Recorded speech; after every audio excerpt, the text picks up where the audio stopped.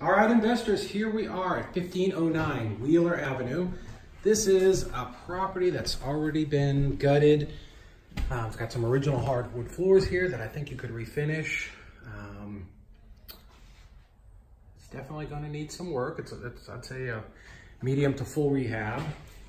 So as we come in the front door here, we got a nice large living room, an old fireplace. But these look like old original pine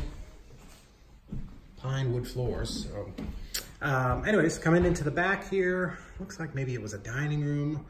Could have been a bedroom maybe. Uh, I think the opportunity here is that you can relay this property out however you want. Um, towards the back, laundry room, porch maybe, unsure.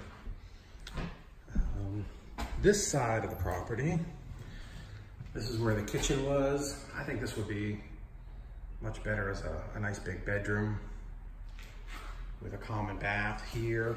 You can see that all the all the bad stuff's been torn out, so it is ready to be remodeled.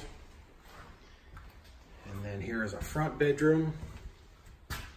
Looks like somebody was opening it up to, to add in a closet.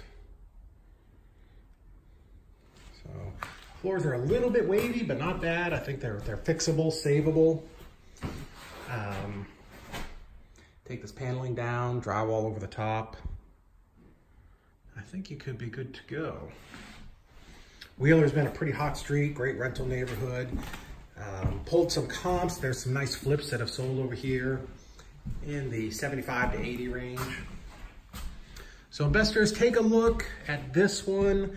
All the information will be listed online at nationwidepropertyliquidators.com or you can give me a call at 423 475 7777.